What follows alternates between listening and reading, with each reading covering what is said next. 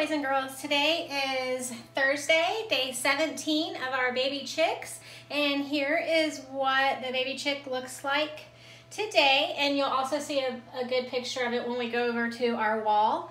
Um, the big thing that happened today is we stopped candling the eggs, but I actually stopped doing that about a day or two ago.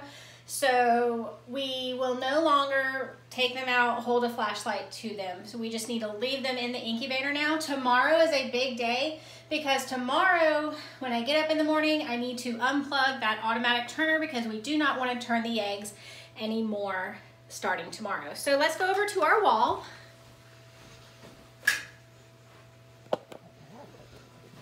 And here is day 17. The beak turns towards the air cell. The embryo prepares to hatch. So the beak is now going to turn towards that air cell because eventually it's going to poke through that air cell and start breathing in oxygen. And we're getting ready to hatch. And they said starting around day 19 to 21 is where they could start hatching. So we could see something as early as day 19, but hopefully for sure by day 21.